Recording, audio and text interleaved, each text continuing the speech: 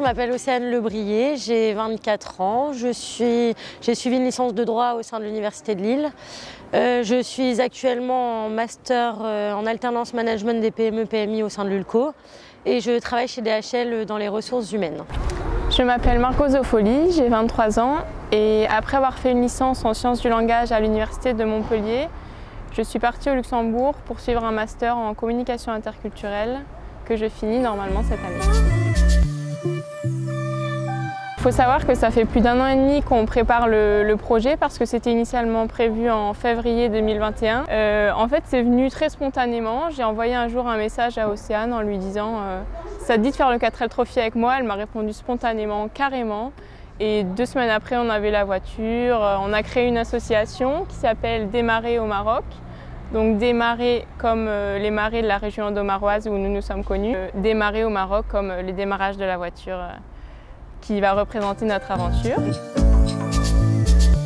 Le but en fait c'est de rejoindre Marrakech par équipage de deux, donc ce sera Océane et moi-même, voilà, au volant de la mythique Renault 4L.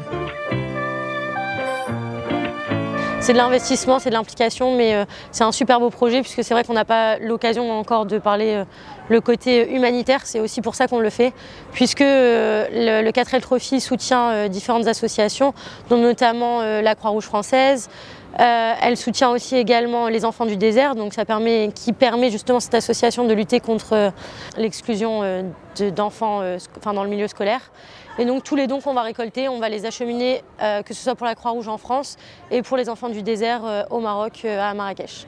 Et du coup, c'est un très beau projet, autant humainement, sportivement et aussi humanitairement.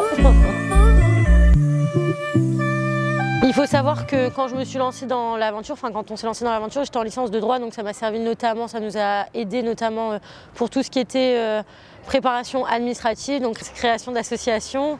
Ensuite, euh, là, en ce qui concerne mon, parcours actuel, donc, qui est plus axé sur le management, je pense que ça m'a permis de, prendre confiance en moi quand il était question de, prendre des décisions. Et ça va nous servir, je pense, en termes d'organisation sur, le, sur le 4L. Alors le départ est prévu le 5 mai, donc on doit se rendre au village départ de Biarritz pour les vérifications techniques pendant deux jours. Et ensuite, euh, voilà, jusqu'au 15 mai, euh, qui sera l'arrivée finale à Marrakech. Donc c'est 10 jours de raid plus euh, les, déplacements pour aller jusqu'à Biarritz et revenir dans nos villes d'origine. L'expérience avant tout, le résultat aussi, puisqu'on a des sponsors, donc on veut un peu leur faire honneur. Franchir la ligne d'arrivée, bien évidemment, sans encombre. Sans encombre, parce qu'on n'est pas mécanicienne euh, et, c'est vrai que la voiture, elle n'est pas toute neuve. On part au mois de mai, il va faire chaud, donc euh, voilà, on espère euh, arriver déjà à bon port et revenir, partir et revenir. Et avec, pourquoi pas, le podium. pourquoi pas, on y pense. Et beaucoup d'aventures et de rencontres, et voilà.